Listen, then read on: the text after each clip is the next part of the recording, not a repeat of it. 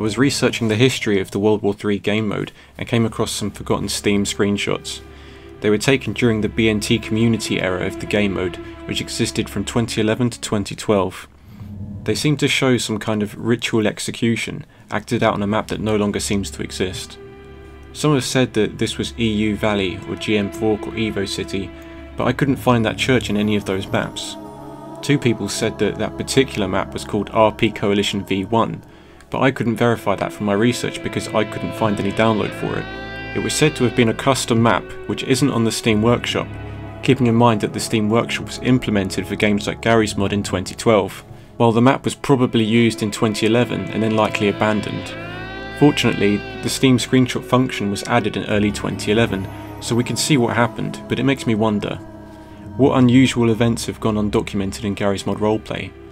What maps will never be played again? And would those curious incidents be forgotten if a video like this hadn't been made? In 2014 the game mode came back under the Lemon Punch community. The player base was largely different to the regular players from the BNT server years before, but similar events would end up happening. One of the earliest spooky things to happen during the Lemon Punch era was simply the tunnel system that was probably the EU Valley map, which was run in 2014. The story was that some soldiers were trying to find the end of one of the tunnels, and after walking for a while, they ended up back where they started. Player-made creatures existed to kill soldiers if they abandoned their group, but sometimes these creatures existed for reasons beyond the need to kill soldiers. The Ape of Panama was a harmless example of such a creature, but when the roleplay started between the ape and some soldiers of one of the main factions, it wasn't long before it ended up dead. There was a story of another ape that visited the other main faction, but that time it was fired at, even without provocation. Larry the Lizard was the nickname behind the creature I caught a glimpse of in the swampy area of RP Salvation 2 Stalker. It was rarely seen, or perhaps mistaken as a dark figure. One of the regular roleplayers would refer to it as a biomonstrosity. If you saw it, you'd notice it hiding behind trees and darting from swamp to swamp. The difficulty in finding it up close was down to the poor visibility of the water. It would hide under the surface and practically disappear. Before the lizard creature, there used to be mountain lions. I think there was a mountain lion model at the time, but I never saw one on the server before. There were plenty of stories of them being around though. In 2015, one of the dangerous creatures was Shrek. The story includes Donkey, but there's very little information about them. At the time we were on a map RP Pripyat which had a swamp, so perhaps when a lone soldier stumbled into the area, that could have been when Shrek attacked. Shrek was also said to have attacked soldiers outside the swamp and leave its victims alive, but I haven't come across any screenshots or videos of these incidents. There's been other creatures that were rumoured to have existed in the game mode, but there's not much information about them.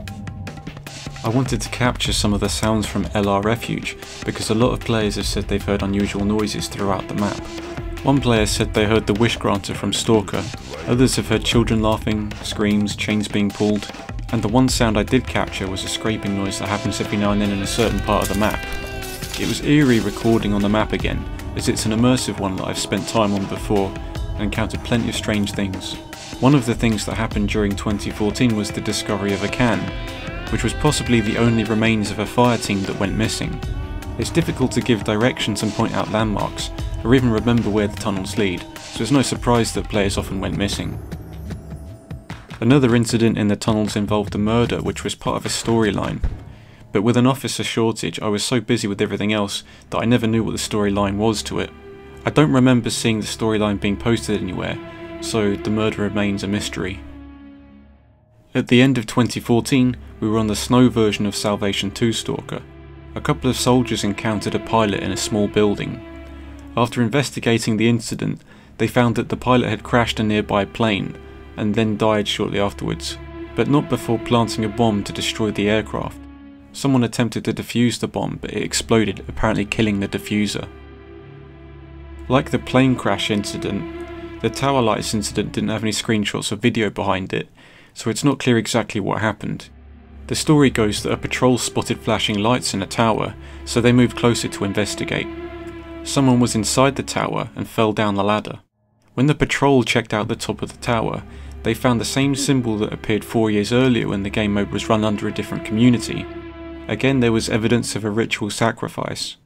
After they dealt with the injured person, the patrol came back to destroy the stuff at the top of the tower, but now there was a message for them on the wall which read, Bring Daddy back or else.